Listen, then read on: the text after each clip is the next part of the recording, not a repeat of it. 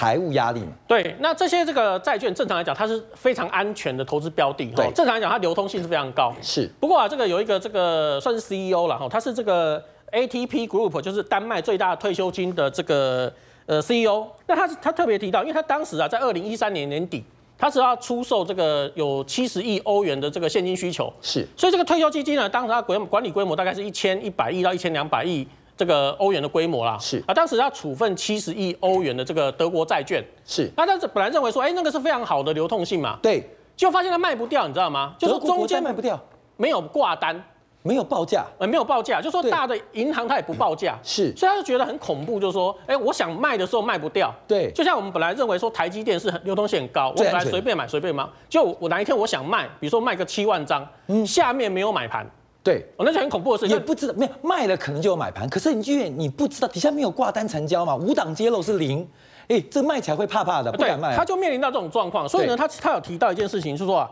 传统的这个风险分散分析哦，这个长得还蛮帅的，那已经失效了。是 那因为啊，这个 FED 释出的这个流动性啊，已经啊这个膨胀资产的价格，是，让所有的资产啊都已经同步走高。对，那所以呢，未来这些资产呢，也可能啊会发生同步走低的现象。是哦，所以其实你现在看到这些呃，尤其像德国公债啊或美国公债哈，其实目前大概是有一种流动性的风险，是所以它波动幅度会特别大。对哦，这可能是其中的原因之一啦哈。是。那另外一个就是说，我们刚刚提到公债的价格大跌，那还有一个就是它目前影响到的哦，或许有没有直接相关我们不知道，但是呢，哎，其实还是有一些很这个巧妙的一些地方啦，就是说很巧合的地方，就是啊，比如说我们看到台北股市最近哦有稍微的一个回档，对，但是大家如果有注意到东南亚股市的部分，对，哦，包括股汇其实都是属于重挫了哈。是。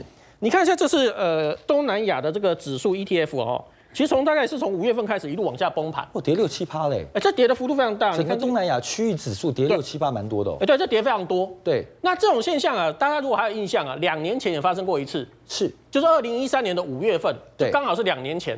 那当时呢，我们把它抓出来哈，这是美国十年期呃这个公债的殖利率对哦，那当时也是从大概五月份呢就一路往上攀升嘛。对那你看一下这个是呃东南亚的 ETF，哎，当时也是重挫一段。对，刚好是完全是负相关。啊，对，对刚好完全负相关。那对跟利率当时啊，就两年前，当时是传出这 QE 要退场。对那现在可能大家在传，可能是什么时候升息啦？是那不管，反正就是感觉上就是美国公债的殖利率狂升哦，然后呢，这个呃东南亚的股市重挫，假设值利率大升啊，公债会大跌，那呃投资等级的债券也会大跌。对。那正常来讲哦，就说呃哪些啊可能会受到影响，但目前还是在相对高的位置哈、比如说呢，这个是 MSCI 的这个呃非中东指数啦，对，非洲、中东的指数。对对，非洲中东指数，哎，其实目前还是维持在高档。对。那另外就是呃新兴拉美指数。是。哦，那拉美一般来讲是跟这个原物料比较有关系。哦，那呃可能是这部分的一个反弹。那另外就是 MSCI 啊新兴东欧指数，那对那东欧啊其实最大的权重就是俄罗斯嘛。对那我们知道俄罗斯啊其实最近这一年呃这最近这一段时间谈的还蛮凶的。对。还有另外一个是这个全球高收益债券指数，对哎，这个就很妙，目前还没有反应是，哦，这但正常来讲应该要反应才对。对，所以其实大家有点时间差，就最近的这个公债殖率，所以很怪。最近就是一个公债是好学生，公司债基本上就是第二流学生，那高收益债是垃圾债，基本上是坏学生。老师出一个考题，全班第一名被当掉，第二名不及格，第三名没感觉。对，考最好，还维持在高档啊，对 这很特别的现象。是那目前来看的话，我们如果说以这个，我们刚刚把它综合起来，这些比较强的 ETF 哈，其对实有些是跟原物料有关啊。是那高收益债我们是不知道为什么那么强啊，这是很特别的现象。那我们看一下，这是呃，就是呃原原物料的这个呃 CPI 指数了哈。对，CRB 指数 CRB 指数，那目前大概是盘出一个底部形态。是那最近呢，当然我们看到这个全球气气候异样，台湾是缺水嘛，像美国是干旱，呃呃美国有些地方是水太多，对对所以造成说，哎，今年的话农产品可能会大涨。东部是水灾，西部是旱灾。啊，对，那这种情况下会不会造成原物料的一个大涨？是那如果说这个地方造成通膨的一个上升啊，那其实债券的压力其实越来越大。是那这地方呢，一方面会影响到什么？第一个，债券本来就是大跌嘛。对。第二个，目前来看的话，债券跟股市是同步的。是第三个会影响到什么？就是房地产，是。因为房贷利率那个是直接相关的哈，对这可能要特别留意。好，我们注意到，因为这一次德国国债，就陈如刚刚俊敏提到，它进入一个恐怖的一个境界，原因就是市场上因为大部分的国债，像德国国债被欧洲央行买光了，那美国国债被 FED 买光了。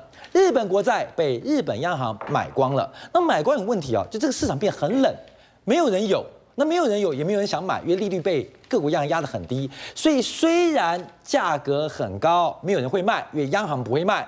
但问题它一拉回，也不会有人买，因为它价格跌得不够多，所以变成全球最重要的几个指标利率市场，它出现了一个价格价格真空段。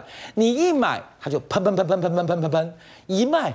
没有人接，忽然发现好恐怖哦！竟然过去我们讲二十年前债券市场的规模远远大过股票市场规模，可现在债券市场规模已经缩到不能再缩，像台湾国债市场缩掉了十分之九，剩下十分之一。当一有状况发生的时候，忽然发现原来在这个屋子里面。没有别人，我要请宇龙做观察，因为这个债券市场现在跌势还是持续，甚至我们说第一波的 V 型反转感觉都还没结束啊，那会不会来第二波？像美国国债已经进行了第二波的一个利率反弹，像德国国债。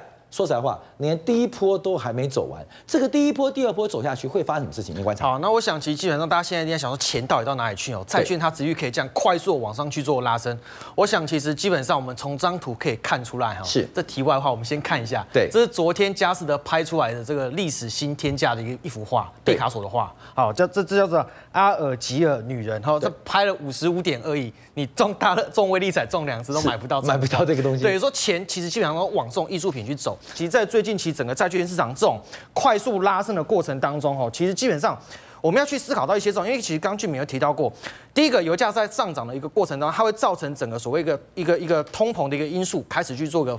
发芽，对，那其实基本上对固定收益这个部分，一定会有很严重。你看今天中华电信跳空，哎，对啊，这两天像台湾大股价也很弱，对，就那种比较固定收益、现金、殖利率高的那种那种股票，其实相对来讲就会有一些压力在。对，所以这个泡沫泡沫什么时候破灭，我们不知道，但至少现在从债券市场领先做泡沫的破灭啊，而且官民要特别注意到，因为德国，德国是这几年 carry trade 最重要的一个市场，为什么？你借欧元，第一个。利率是负的，你借欧元，它贴你账款费。第二个，欧元是贬的，所以当德国国债引发了一波反弹，包括欧元最近从一点零五谈到一点一三，这个全球最大 carry trade 以前是借日元，现在是借欧元。